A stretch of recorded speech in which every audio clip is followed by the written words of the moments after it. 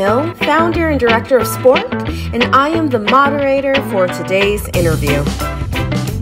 I think that uh, because uh, it's human nature to judge the book by the cover, uh, I think that as people of color, um, sometimes we have to be more uh, intentional about letting others know that uh, that we do know, or that uh, we do have a degree of intelligence, or that we are qualified. Because uh, some, sometimes I have felt that I was just judged, and if you uh, have a speech issue, then it feeds into their stereotype of you, yeah. and, and they um, people often equate the speech impediment with a lack of knowledge or education or with ignorance or whatever.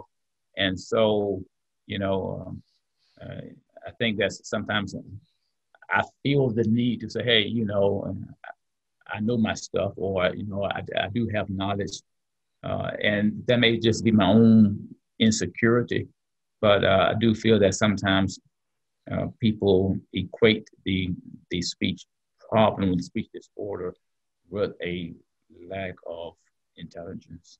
Yeah. Uh, Dr. Darryl was saying that uh, uh, substituting words, which is very a common thing that stutterers does, how, that stutterers do. Um, Biden, the, man running for president now, uh, he was a stutterer, and and if you notice, quite often quite often he's uh, he substitutes words. He try to get a word out and it doesn't come out, and he use another one. Yeah. Yeah, that is true. And I know this too. Like you mentioned, you're holding something so that you can, I guess it's a way of that tension it can it just it disperses the tension. He always holds it uh an ink pen. He always has a pen or something in, in his hand. I tend to do the same thing. Like right now i have this bean bag. So as i'm talking i'm like gripping the bean bag and i let it go. So it's a, it's a way of dispersing that tension. The interesting thing that really um about him running and with how his speech disinfluencies and his stuttering have been turned um, against him. Um, like we've said, if you have a speech impediment of any kind, people will automatically think that you're unintelligent, that you don't know what you're doing.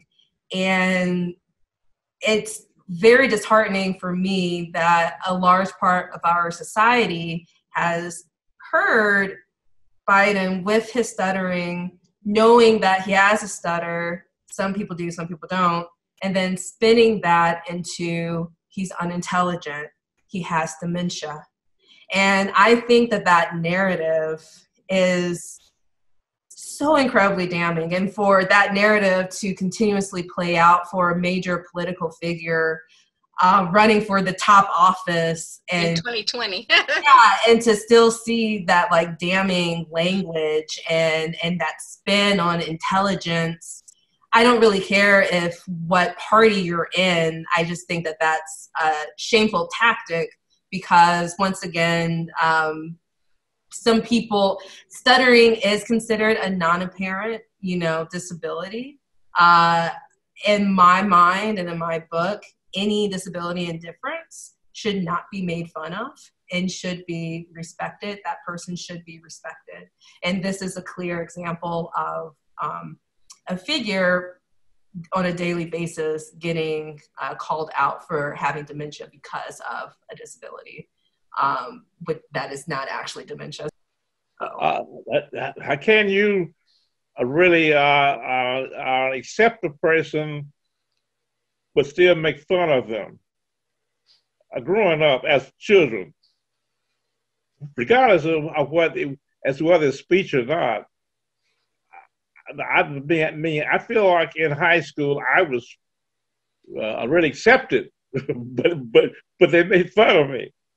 And, I mean, all the way through, and and, and even when I started teaching, uh, I think about that was a boy that was the uh, they gave the class typing uh, manual typewriters, and that was a boy that was that had that um, that arm problem, and all the kids called him Wing. Wing was as popular in the kids as I mean as all as all as all the other children were, but but they still made fun of him. But he was accepted, and because I even tried to get because I I even talked with the with the typing teacher about not even uh, about him about him not going to uh, to, to uh, typing, but he could, could, take that arm and move that typewriter as well. As be, I mean as others, and, and, for that reason, but the kids still nicknamed him Wing, and uh, but they accepted him, and so sometimes I'm trying to say because it's just a natural thing for kids to to make fun of you, uh, uh, to tease you uh, if you're different, but they still accept you. And I, I, guess they call it bullying now. I mean, I don't know what they call it now, but to me, I was accepted, but I was different. And there were other children that were accepted, and but they were different too. Do you, do you think that um, children who like you said who who do like the who make fun and who might are labeled like the bully do you think that those people grow up to be empathetic adults? Um because i guess my my question is is there is the is there is such a thing as making fun of someone and still respecting them I, I suppose so. I don't know. And now, what you're saying is that to accept everybody, uh, to accept people with without um, um, uh, making me, me a distinction, I, I probably would be very difficult for that for the average person until, until they reach a certain age of maturity. I tend to think that a true friend won't won't make fun of you. You know, I think a true friend or, or, or that that that inner circle friend. Um, but it's hard to limit that because otherwise you you know you may only have one or two people that you could talk to uh, at school in a whole day. So you have to have other friends, and some of those are going to tease you, and, and they're going to mock you, and that, that's just what they do. Uh, but um, I tend to think that they people often do that because uh, they have their own insecurities, and I think they feel the need to hi- highlight uh, the flaw in you to feel better about themselves. And so, as it has been said, it says more about them than it does about you. I think, and there are those who become adults and they continue with that same behavior, and they never outgrow it. Yeah, I would agree because as as you were talking, I was thinking like I could see the faces of the kids who used to make fun of me, like the from second grade to eighth. I went to school with the same kids, and I even went to school with part of those kids for high school, and I still know the first and last names of the kids who used to tease me if someone asks me to give you a description, I can tell you what they usually wore. I can tell you what their hair looked like.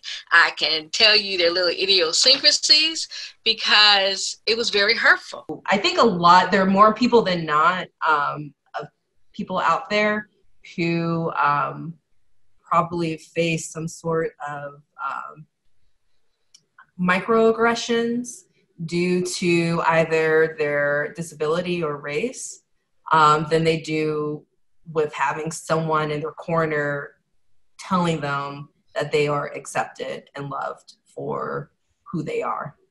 And, you know, I think it's important that we keep reminding people that.